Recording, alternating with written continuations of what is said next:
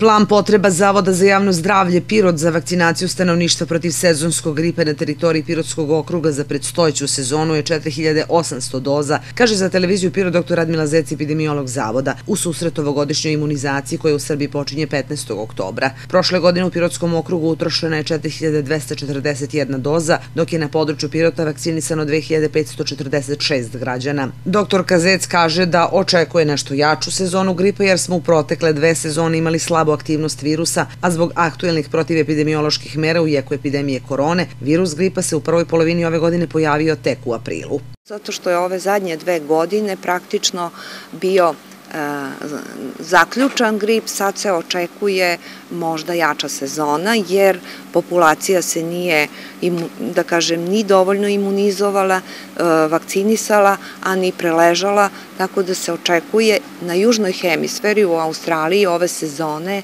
je registrovana veća epidemija gripa u odnosu e, sa većim brojem obolelih u odnosu na prethodne sezone.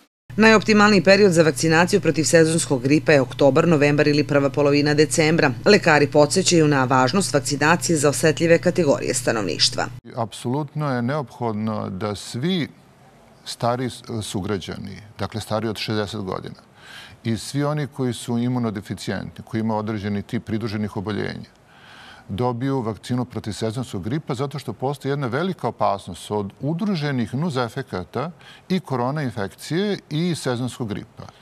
Doktor Kazec očekuje da doze vakcine protiv gripa koje su namenjene okrugu početkom oktobra budu dopremljene u Pirot i distribuirane domovima zdravlja u okrugu. Krajem avgusta direktorka Republičkog fonda za zdravstveno osiguranje Sanja Radojević-Škodrić rekla je u izjavi Tanjugu da je Srbija nabavila 373.000 doza vakcine protiv sezonskog gripa.